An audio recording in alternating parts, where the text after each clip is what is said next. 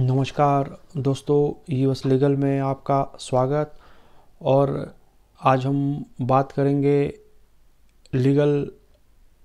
Point के ऊपर और क्या क्या चार्जेस और कौन कौन से चार्जेस इंद्रानी मुखर्जी के ऊपर फ्रेम किए गए। दिल्ली पुलिस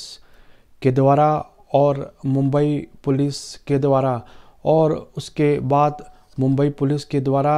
इन्वेस्टिगेशन की गई और इन्वेस्टिगेशन के दौरान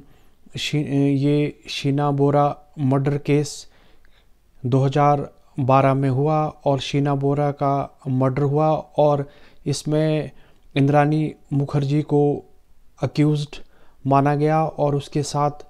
उनके ड्राइवर को भी को अक्यूज़ माना गया और साथ साथ में इंद्रानी मुखर्जी के फैमिली के और उनके फादर भी इसमें, उनका भी इस केस के अंदर इन्वॉल्वमेंट रही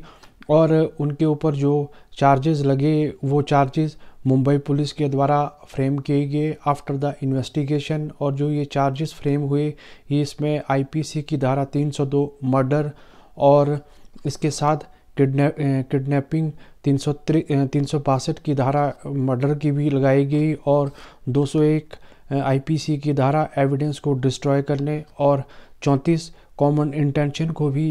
इसके अंदर चार्जेस फ्रेम किए और उसके बाद इस केस को सीबीआई को सीबीआई के के सामने सौंप दिया गया और सीबीआई ने इसमें इन्वेस्टिगेशन की गई और उसके बाद इन्वेस्टिगेशन करने के के बाद इंद्रानी मुखर्जी को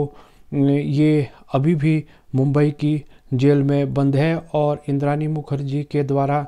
कम से कम चार बार बेल एप्लीकेशन को दायर किया गया है और सबसे पहले जब उन्होंने बेल एप्लीकेशन को 2017 में दायर किया गया तो उस टाइम उन्होंने उन्होंने जो बेल एप्लीकेशन के अंदर जो कंटेंट को लिखा था, उन्होंने लिखा था कि उनको मेडिकल फैसिलिटी प्रोवाइड नहीं हो रही है। इस इस वजह से उन्हें उन्हें बेल ग्रांट की जाए। पर लेकिन कोर्ट ने जब तथ्यों को देखा और कोर्ट ने कहा और कोर्ट ने ये पूरी तरह से कहा कि जो इंद्रानी मुखर्जी के ऊपर चार्जेस लगे हैं, वो बहुत ज़्यादा संगीन है। इसके तहत इनको इसमें बेल ग्रांट नहीं की जा सकती और उसके बाद फिर इंद्रानी मुखर्जी के द्वारा 2018 में और बेल एप्लीकेशन को लगाया गया और इस, फिर उन्होंने कहा कि कि इसमें जो ये इन्वेस्टिगेशन हो रही है, इस इन्वेस्टिगेशन में टाइम लग रहा है और ट्रायल में भी थोड़ा सा टाइम ज़्यादा लग रहा है, पर कोर्ट ने उनकी इस दलील को नहीं सुना और उनकी इस बेल एप्लीकेशन को फिर से खारिज कर दिया गया। और उसके बाद फिर इंद्रानी मुखर्जी के द्वारा 2019 में दोबारा से बेल एप्लीकेशन को लगाया गया और इसमें कोर्ट ने कहा कि इंद्रानी मुखर्जी एविडेंस को डिस्ट्रॉय कर रही है और उसके साथ साथ जो कि विटनेसेस है, उनको भी प्रो, प्रोलोभन दे रही है और उसके साथ इससे भी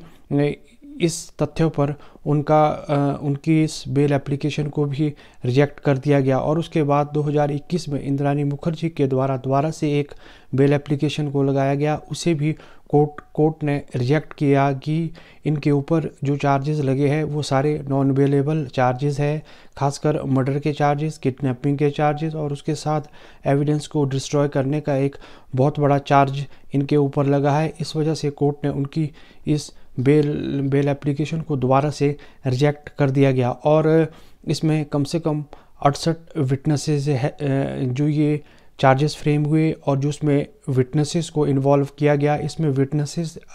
लगभग सिक्सटी एट थे और इसमें जो प्राइम विटनेस था, वो था इंद्रानी मुखर्जी का ड्राइवर और इसमें उससे भी तथ्य को खंगाला गया और उन्होंने उन्होंने ये कन्फेस किया कि और उन्होंने अपना अपने आप को भी इसमें कन्फेस किया कि उनके द्वारा इसमें इन्वॉलमेंट रही मर्डर केस में और उसके बाद इसमें कम से कम अड़सठ विटनेसेस को आ, को एग्ज़ामिन किया गया और कुछ विटनेसेस को छोड़ दिया गया। अभी भी कुछ विटनेसेस इसमें इस तरह के हैं जिन्हें भी प्रोसिक्यूशन ने भी एग्ज़ामिन करना है और एग्ज़ामिन करने के बाद ही आगे का आगे की आगे की राह क्लियर हो पाएगी। और उसके बाद इंद्रानी मुखर्जी को एक ये, उनके ऊपर कोर्ट ने कहा उनके ऊपर चार्जेस है कि वो विटनेसेस को भी डिस्ट्रॉय कर सकती है और और जो विटनेसेस के साथ साथ जो तथ्य है उसको भी टेम्पर कर सकती है। तो इस ग्राउंड पर उनकी बेल एप्लीकेशन को भी खारिज कर दिया गया और और उनके द्वारा ये जो बेल एप्लीकेशन है, मुंबई हाई कोर्ट में भी लगाई गई सुप्रीम सुप्रीम कोर्ट में भी लगाई गई और एडिशनल सेशन जज मुंबई में भी उनके द्वारा इन बेल एप्लीकेशन को प्रेजेंट किया गया। पर इनके ऊपर जो चार्जेस थे, वो बहुत ज़्यादा बहुत ज़्यादा घातक है और इस इस इन चार्जेस को आप नॉन बेलेबल का नाम भी दे सकते हैं और नॉन बेलेबल का होने के साथ उनको ये बेल उनको इनकी ये बेल बेल रिजेक्ट कर देगी और आज के समय में इंद्रानी मुखर्जी जेल के अंदर बंद है और और और जेल, उसके बाद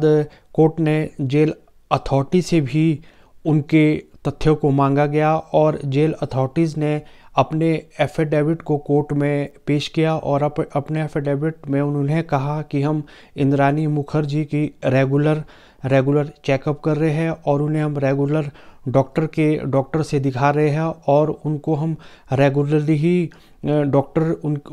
उनको चेकअप करते हैं और उनका हालचाल पूछते हैं और उन्हें हम मेडिकल मेडिकल जो फैसिलिटी है उसको हम पूरा प्रोवाइड कर रहे हैं। ये प्रिजनर ये प्रिजनर अथॉरिटी के द्वारा कोर्ट के अंदर एफिडेविट को फ़ाइल किया गया और सीबीआई के द्वारा भी कोर्ट के अंदर एफिडेविट फ़ाइल किया गया